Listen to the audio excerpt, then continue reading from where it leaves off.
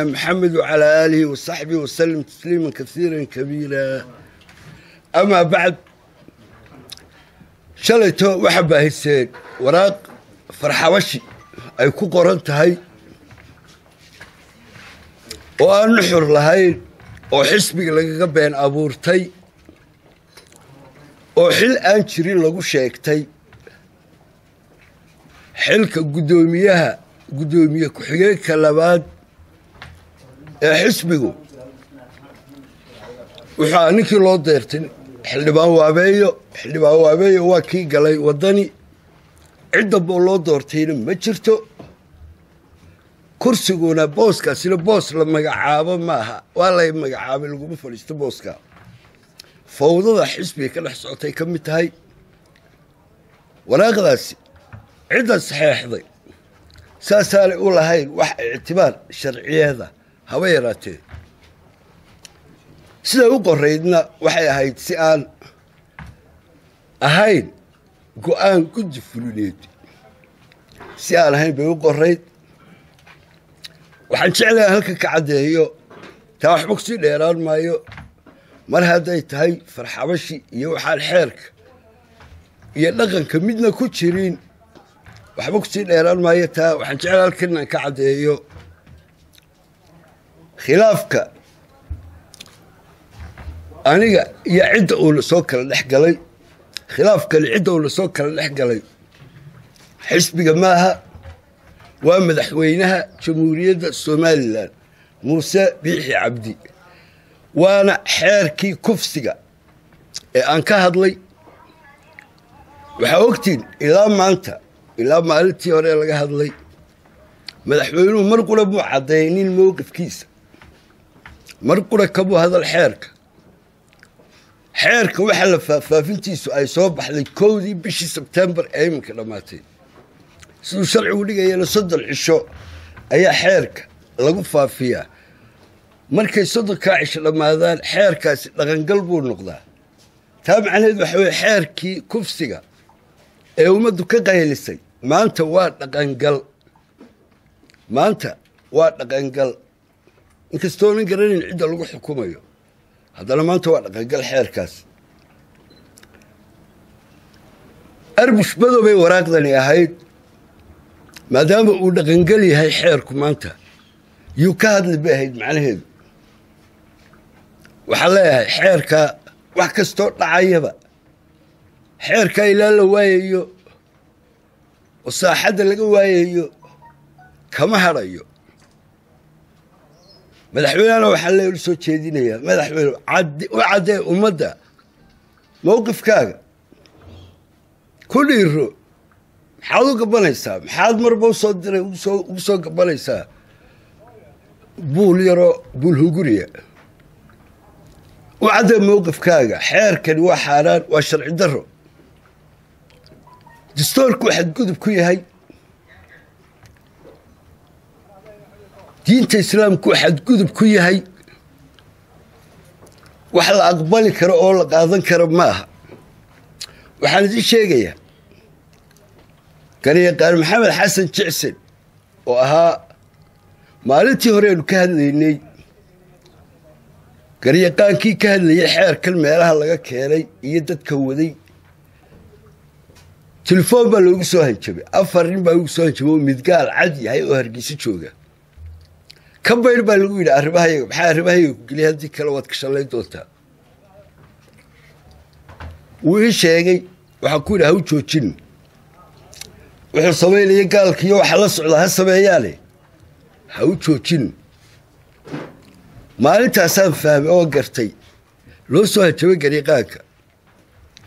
In aan laga hadhin xeerkii inaanay gaala xeerkii ka hadhin la doonayo xeerkii in la fuliyo sidiisa loo fuliyo. Waxaanu isku haynaa waxa weeye waa diintii islaamka. Waa shareecadii islaamka. Ma aha siyaasad xisbiga dhexdiisa ah. Ma aha dana gaara. Ma aha wax kale oo naga dhexeeya. Aniga iyo madaxweynu ma jiraan waa xeerkaa uu saxeexay ee uu dhaqangeliyey. Ayaan horena uga hor imi iminkana hortaagna oo aanan ogolayn awooddayda markay dhaafto awooddayda markay dhaafto. Suuratu nuur suuratu nuur iyo madaxweynahan isku eegaya. Suuradda uu ku gafay ee uu ku xadgudbay waa suuratu nuur. Suuratu nuur iyo madaxweynahan isku eegaya balalka iskala soo dhacaan suuratu nuur maa suurada ku hadlay kari waayo. Waa suurad ku filan cid kastoo xadgudubta waayo ilaahay hadalkiisii weeye. Ilaahayna addoon kasta wuu ku filayahay addoon kasta wuu ku filaya ilaahayna. Waxaan sheegayaa ummadda waxaa la wado waxaan xisbiga iyagii loo gelinayo mushkuladda waxaan khilaafka lagu sheegayo hele xisbiga kulmiyaa iskhilaafsan warbaahinta haddaad tihin iminkaba way maqlaysaa xisbi kulmiye laydhaa oo iskhilaafsani ma jira haba yaraatee. Waa madaxtooyada arrintani madaxtooyaday ka socotaa xeerkaasay kusan leedahay. Waa diintii islaamka waxaanu isku haysanaa waxaanu isku haysanaa qaala iyo qaala daaquutu ayaanu isku haysanaa madaxtooyadii jamhuuriyadda somalilan waa ayandaro ummaddii dooratay inuu u jideeyo. Intuu qaala laahu ka tago qaala daaquutu waa ayandaro waxay dhalisay arrintani fawdo dhinaca sharcigaa fawdo dhinaca sharcigaa in la galabay dhalisay fawdadaa warqadani ka mid bay ahayd. Stoorkii xisbigu waa ka mid. Stoorkii jamhuuriyadda somalilan waa ka mid. Waxaan halkan ugu baaqayaa xubnaha golaha dhexe xisbiga kulmiye. Inay maalinta sabtida ah ee soo socota haddii allaha weyne aqbalo. Inay isugu yimaadaan xarunta dhexe ee xisbiga kulmiye ee magaalada hargeysa isugu yimaadaan. Iyaga awoodda le waa hay'adda u sarraysa xisbiga. Cid kastoo ku gafta xeerka iyo barnaamijka xisbigana golaha dhexa awood u leh wax ka qabashadeeda. Sidaa daraaddeed waxaan ugu celinayaa mar labaad hawl culus baa taalla. Xisbigii la kala diraa la doonaya la burburiyo. Xilku idinku idi saaran yahay waa inaa maalinta sabtida ah haddii allahu yidhaa ay isugu timaadaan xarunta dhexe ee xisbiga. Si aad talo uga gaadhaan oo go'aan cad uga qaadataan fawdadan xisbigii iyo dalkaba dhex socotaa wasalaamu calaykum waraxmatullahi wabarakaatu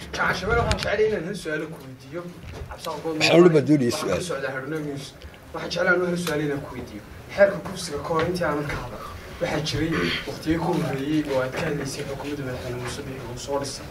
Iyo hogaamintiisa aad baad u dhaliilaysay marka miyaan la oran karin khilaafkii wuxuu ka horreeyey waqtigii aad ka hadashay xeerka maya maya maya maya kama horreyn. Kama horreyna waa xeerkan kufsiga weeye. Halka khilaafkayagu kala bilaabmay iminkana uu taagay. Ka hor markaa maxaa keenay ina- inaad dhalisho iyo xukuumaddii uu soo dhisay madaxweyne muuse bixi dadka qaar taas waa mawduuc ka baxsan waxa okay gudoomiye waxaan doonaya inaan ku weydiiyo. Maalintii labadoodii ka hadlay xeerkan weliba madaxweyne si toosa ugala hadlay ee faahfaahinta ka bixiyey. Intii aad arrintaa ka hadashay ee bulshadana aad u iftiimisay madaxweynahana aad ka codsatay in xeerkan oo diinta iyo shareecada iyo dhaqanka ee suubana islaamkaba qadafku ah inuu wax ka qabto.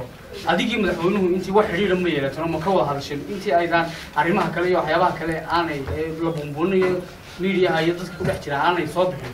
Madaxweynaha ilaa hadda ma wada hadasheen oo ma kaaga garaabay arrintan aad ka hadlayso madaxweynaha laba mowqif baanu kala taagannahay. Mowqifkaa ilaa iminka uu ka hadli layahay ilaa iminka wax tallaabo uu ka qaaday aanay jirin waxay ahayd markii ummadda ay ka hadashay madaxweynuhu inuu qoraal u qoro baarlamaanka oo baarlamaanka dib ugu celiyo.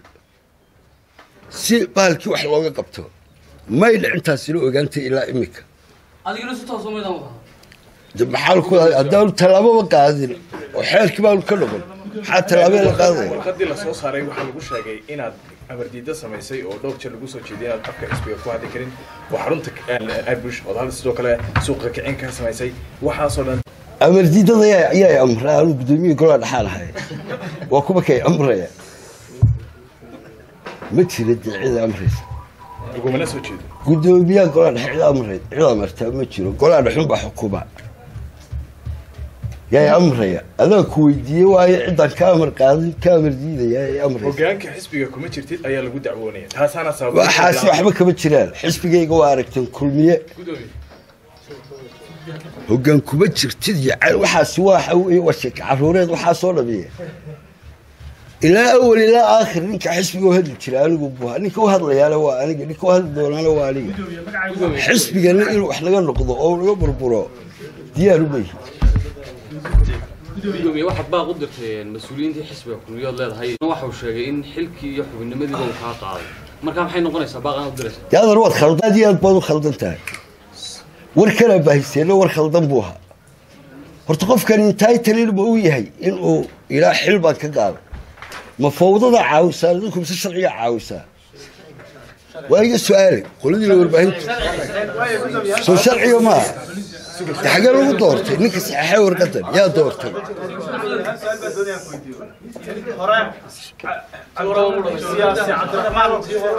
ka bax ka bax waa out of waa out of topic taasi adigoo adigoo xisbi- adigoo xisbiga jooga jaamac ismaaciil ciga jaamac shabeel islamarkaana gudoomiyihii golaha dhexe waxaa sidoo kale waraaqo gudoomiyaha ama gudoomiye ku-xigeenadu soo saareen xilkoodii lagaga xayuubiyey iyadoo kuwo kalena lagu magacaabayo gudoomiyihii ku-xigeenkii labaad ee xisbiga adaan waa khaldantiin malaa iminkaa dhalateen baan u malaynayaa shir golo dhexaa baa fadhiyey. Shir golo dhexaa ayaa fadhiyey. Shirka golaha dhexaa go'aan ka gaadhay gacan baa la taagay. Yaa waa la timi saacado baa laga waxaad waxaad su'aashaadii weydiinayso ka fiirso.